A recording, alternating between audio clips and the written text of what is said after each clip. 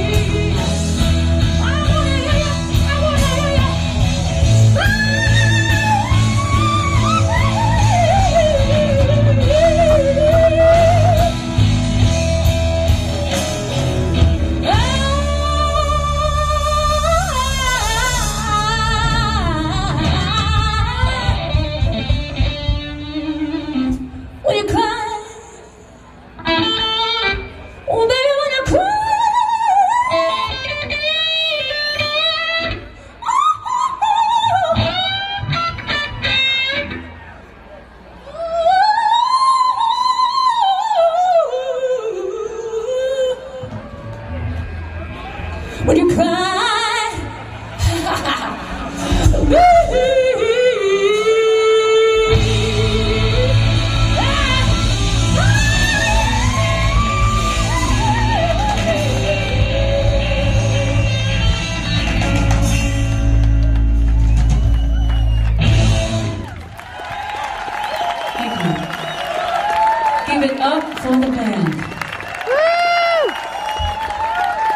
Third gig together, and it's the only one we're scheduled to do. Gary put the band together for me. It's a great band. I'm so thrilled to be working with them.